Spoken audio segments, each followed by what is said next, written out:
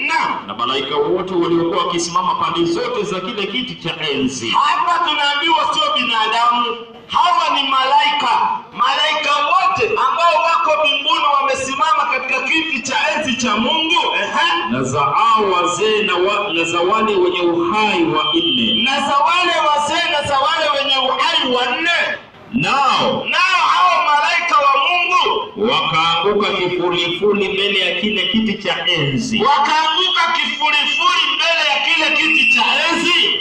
wakamsujudu Mungu. Sasa malaika mbinguni wanamsujudia Mungu, na Yesu anasema mapenzi yako yatimizwe hapa duniani kama binguni Na mapenzi ambayo malaika wanafanya, wanamsujudia Mungu. Sisi wanadamu inafaa pia tumsujudie Mungu, tupeleke uso wetu chini. Sheria ya Biblia inasemaje kuhusu kuabudu Mungu? ishirini na mbili tisa kitabu cha Ufunuo ya Yohana ishirini na mbili tisa na hii ndio ibada peke yake ya kumwabudu Mungu, kwa sababu nimwambia, hauwezi kuabudu Mungu unavyotaka wewe.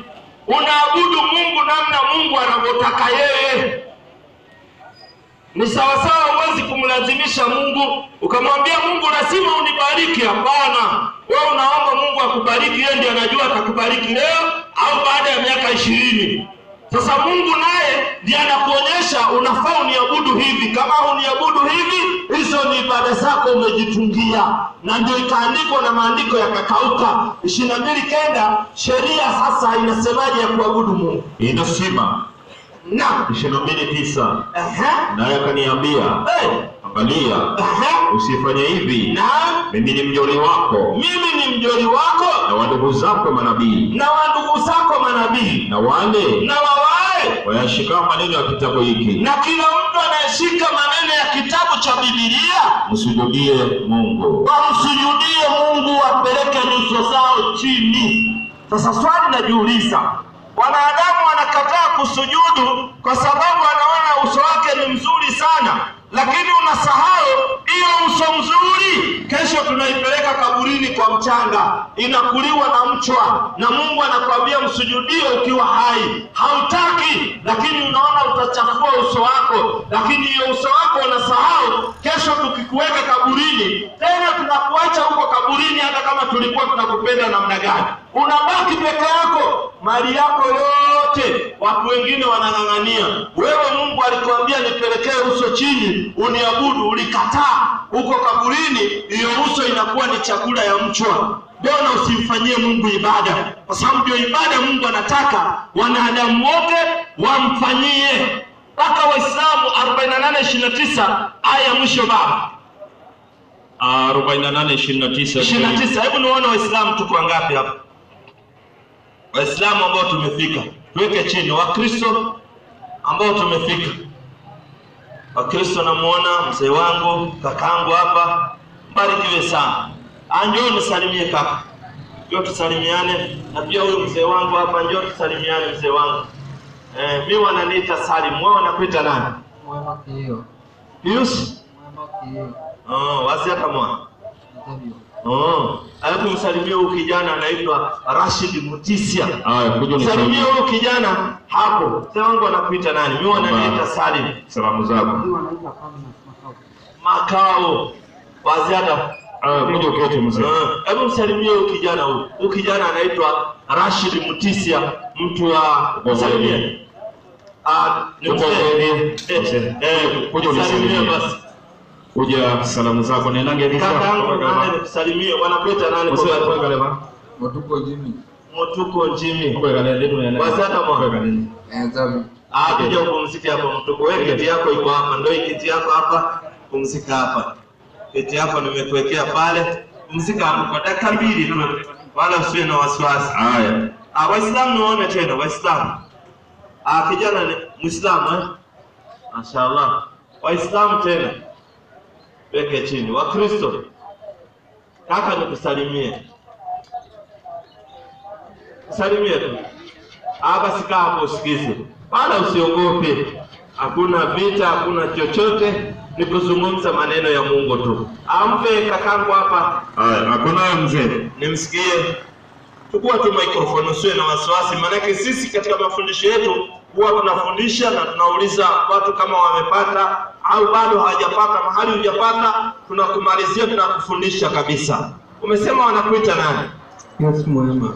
pius mwema. Santi ubarikiwe sana. Mkristo si ndio? Yeah. unashiriki kanisa? Katoliki. Katoliki. Na sadiki na sadiki mina sadiki na sadiki kwa Mungu Baba, si ndio hiyo? Ah, nilikuwa Mkatoliki, nilikuwa Otaboy. Ah, kwa nini nikahama? Ndio swali ya msingi hiyo. Kwa nini nikahama? Nilikuwa Katoliki, nilikuwa Otaboy, nilikuwa najua kutumika pale mbele, najua kupiga ofani vizuri na kila kitu. Kwa nini nilihama? Nilihama kwa sababu ya kitu moja tu. Nilipoangalia nikapata Yesu ambayo nilikuwa nafundishwa alikuwa akienda msikitini, hakuwa akienda kanisani, na Yesu alikuwa Muislamu. Na hiyo habari wewe Imeandikwa wapi? nne kumi na sita Luka, mpe maziwa baba.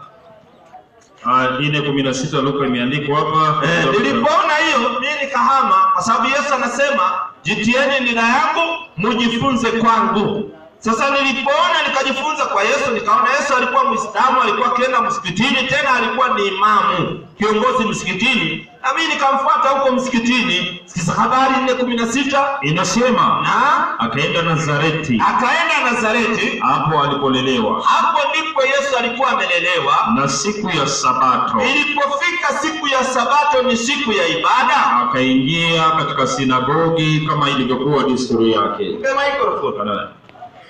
Unaambiwa Yesu alipofika siku ya Sabato ni siku ya ibada, si ndio? Akaingia katika sinagogi kama ilivyokuwa kawaida yake. Katika Ukambani tunasema kebeo chake, si ndio hivyo? Kawaida ya Yesu siku ya ibada anaingia nyumba inajulikana kama sinagogi, si ndio hivyo? Wewe unajua sinagogi ni nini? Ni kanisa. Walioandika Biblia waliongozwa na Roho wa nani? Roho Mtakatifu. Hebu tuwaulize, walioandika Biblia wakiongozwa na Roho Mtakatifu wanatuambia sinagogi ni nini? Biblia inatuambiaje? Muonyeshe hapo maelezo yake. Walioandika Biblia wameongozwa na Roho Mtakatifu, wanasema sinagogi ni nyumba gani? Sinagogi ni msikiti wa Wayahudi. Eh? Sinagogi ni msikiti wa Wayahudi. Sinagogi ni nini? Msikiti wa Wayahudi. Asante sana. Na waliandika Biblia waliongozwa na Roho wa Mungu, wakatuambia sinagogi ni msikiti, na Yesu alikuwa akienda msikitini Msikiti. kama ilivyokuwa kawaida yao. Ah, Kwa nini usimfuate Yesu? Na wewe namna na mimi nilimfuata, na wewe uwe Muislamu,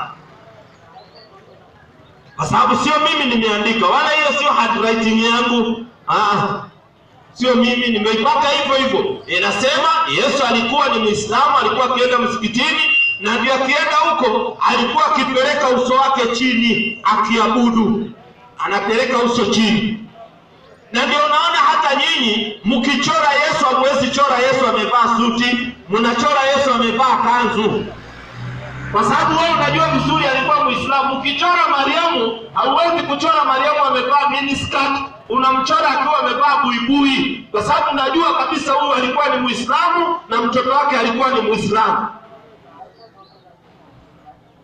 Hapa na salamu tu, alafu uondoke. Salamu tu, pumzika dakika mbili tu wala sikuulizi swali, siogope chochote, wala sikuulizi swali. Umenipata kakangu eh? Ndio nikahama baba. Uko na swali yoyote ungependa kutuuliza eh? Lete swali. Hebu weka sauti kidogo, masikio yangu inakuanga na matatizo. Kumaanisha zote tuwe Waislamu. Sio mimi. Yesu ndio anaambia watu wawe Waislamu. Kama ni mimi nakosea, aliambia watu wawe Waislamu ni Yesu, kwa sababu Yesu anasema jitieni nira yangu mujifunze kwangu. Tukijifunza kwa Yesu, alikuwa akienda msikitini akiabudu Mungu, anapeleka uso chini. So Yesu ndiye anaambia watu wote wawe Waislamu, sio mimi, sio mimi. Hata mimi nimeambiwa tu na Yesu nikawa Muislamu. Swali ingine Sina swali una swali ingine? Na mimi niko na swali moja kwako. Unamjua Muhammad? Namsikia tu. Unamsikia? Unamsikiaje yani? Nielekee tu nimwekee. Unamjua, unamsikia yeye ni nani haswa? Ile unamsikia unamsikia yeye ndio mtume wa kamba au yeye ndio nani? Manake yeye ndio mtume ametumwa kwa akamba rasmi. Mtume Muhammad sallallahu alaihi wasallam ni mtume wa kamba, manake ametumwa kwa kabila zote duniani. Sasa nashangaa wewe mkamba na hujamkubali mtume wako Muhammad sallallahu alaihi wasallam, ndio ametumwa kwa watu weusi na watu weupe. Namjua vizuri, 25:51 Qur'ani, hebu msikie.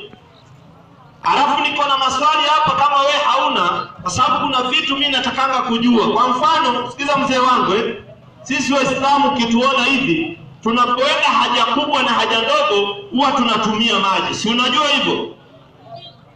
Na nyinyi huwa mnatumia nini? Na nataka nione, kwa sababu Biblia inasema lazima mtu atumie maji. Sasa nashangaa kwa nini hamfuatangi hii kitabu kwa sababu Biblia ndio inasema mtu akienda haja kubwa na haja ndogo atumie maji, na nyinyi hamtaki kufuata hiyo, lakini hiyo utanieleza tu, maanake mimi nitakufunza usafi. Muhimu. Safiri wewe Mtisia, na kama hey, tungetaka kuwapelekea katika kila mji mmojaji wao, kisa na kama Mungu angetaka angepeleka kila mji mwonyaji wao, lakini lakini tumemleta Nabii Muhammadi hey, kwa watu wote. the microphone Ana Mungu anasema kama angetaka angepeleka kila mji mwonyaji wao, lakini amemleta Mtume Muhammad sallallahu alaihi wasallam kwa ajili ya watu wote. Na wewe ni mtu, si ndio?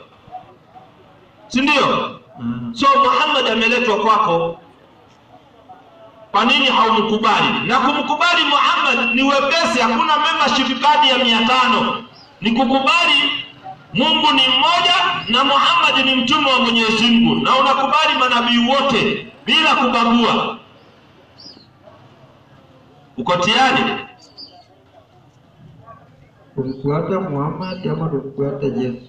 Ah, Yesu ukimfuata unaenda msikitini, Muhammad ukimfuata unaenda msikitini. So wote ni watu wa msikitini na wote ni manabii wa Mungu.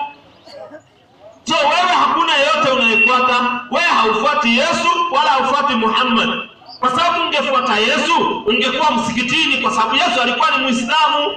Yesu hakuwa dini nyingine, alikuwa ni Muislamu, na Mariamu mamake alikuwa ni Muislamu na walikuwa wakienda msikitini, na ndio unaona chanzo cha kanisa. Hebu niangalilie wewe mwenyewe, kanisa chanzo chake sio Israeli. Kanisa chanzo chake ni Rome, Vatican, Italy. Roman Catholic ndio kanisa ya kwanza, hizi zingine zote zimetoka kwa Roman Catholic. Uongo ukweli?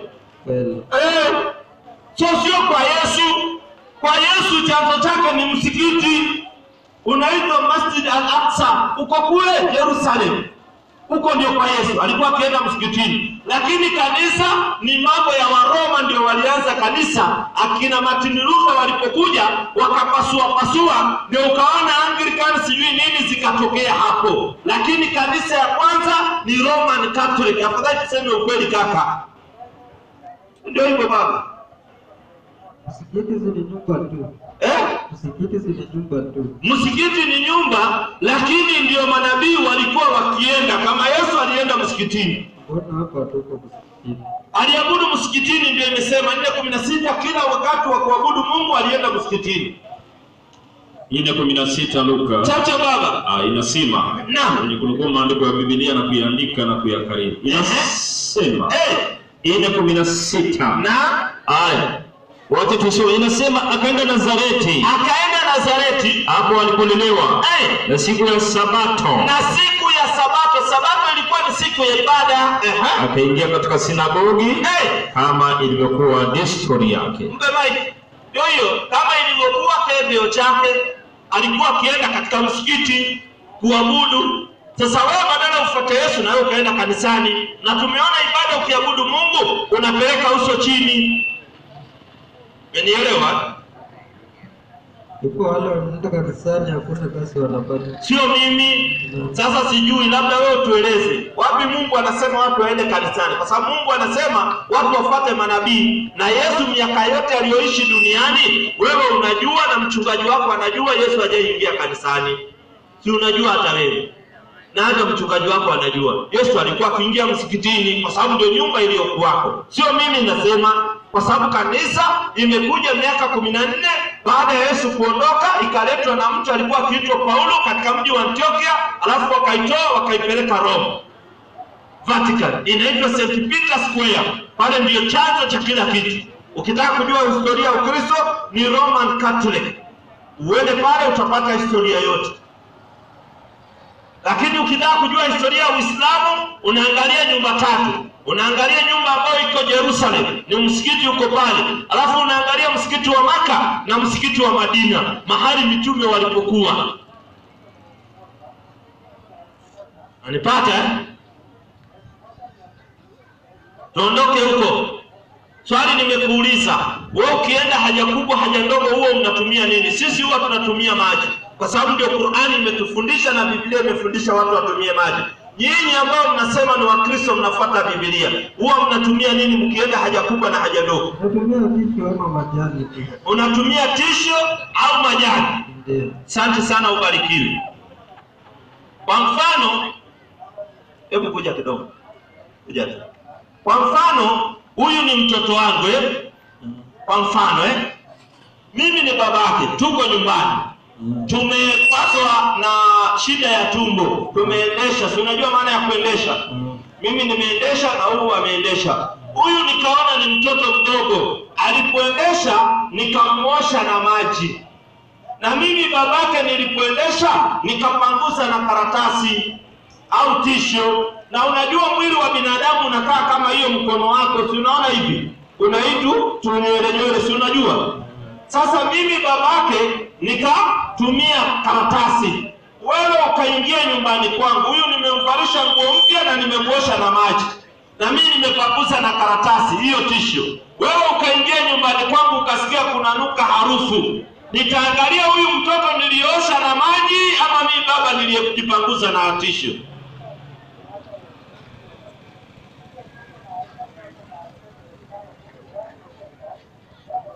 Ya kupata poa. eh? Ya kupata vizuri. Ah, nimeuliza hivi huyu mtoto amejiendea haja nimemuosha na maji. Mimi babake nimejiendea haja nikajipanguza na tisho. Wewe ukiingia nyumbani ukasikia kuna nuka harufu. Nitaangalia huyu niliyemuosha na maji ama mimi niliyojipanguza kumbe hata nyinyi mnajua tisho imalizi uchafu. Na mnatumia hebu keti pale. Tisa kumi Waebrania. Biblia inasema utumie maji. Kwa sababu maji ndio inaondoa uchafu sio mimi. Vitabu ndio inasema utumie maji. Kwa sababu maji ndio inaondoa uchafu. Na ndio unaona hata wewe ukienda nyumbani hauwezi ambia mke wako nipatie tisho ya, ya, ya hamsini nijipanguze nilale. Ah, unamwambia nipatie maji nioge ndio nilale. Kwa sababu maji ndio inaondoa uchafu. Sio karatasi karatasi ni kupaka inapaka sikiza habari tisa kumi wa Ibrania Ah, tisa kumi Waibrania inasema na kwa kuwa ni sheria za jinsi ya mwili tu Sikiza, hii unaambiwa ni sheria ya jinsi ya mwili, sio sheria ya kiroho. ah, hii ni ya kimwili. Ya kimwili sheria yake inaendaje? vyakula Sikiza, sheria ya mwili ni vyakula. Unakula chakula, ukila chakula unaenda haja kubwa, ehe. Na vinywaji Na kinywaji, ukinywa kinywaji unaenda haja ndogo, na ukitu, ukienda haja kubwa na haja ndogo hautumii sehemu moja, huwa unatumia sehemu mbili. Sikiza habari yake na kutawadha na kutawadha maana ya kutawadha ni kunawa unanawa na maji na kutawadha inaendelea kusema kutawadha Hey! kwingine kwingine. Biblia inatueleza ni sheria jinsi ya mwili, vyakula na vinywaji, na kutawadha kuna kwingine na kwingine. Tunajua kuna watoto, Tala na ngulu. kuna tala na kangu. So ukienda haja lazima unaosha tala na kangu. So kuanzia leo ukienda kwa haja utakuwa ukibeba nini? Na watu wa nyumbani wakikuona unabeba maji unaenda kwa haja, watasema wewe umekuwa dini gani? Kumbe Biblia inakufundisha uwe dini gani?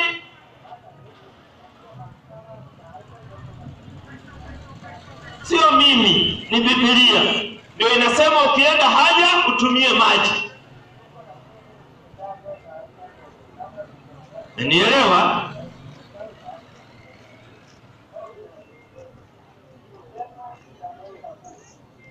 Wewe unamjua Yesu? Haki hata Yesu unaona umjui, unamjua? Unamjua Yesu vizuri? Hiyo maiki imezima. Yasima. Eh? Unamjua Yesu? Unamjua. Yesu ni nani? Mwana wa Mungu. Mwana wa Mungu eh? Kuna sehemu katika Biblia e, inasema Yesu ni mwana wa Mungu. Sehemu katika Biblia, wacha mafundisho ya watu ya kichwa. Kuna sehemu katika Biblia inasema Yesu mwana wa Mungu, kwa sababu aliyemzaa Yesu anaitwa Mariamu, na Mariamu hakuwa Mungu, na Mariamu ndio alibeba Yesu miezi tisa, akaenda akajifungua mtoto wake, na anayepeana watoto ni Mungu, lakini watu wanakuwa ni viumbe wa Mungu, sio watoto wa Mungu. Sasa je, kwa Biblia kuna mahali inasema Yesu mtoto wa Mungu? Iko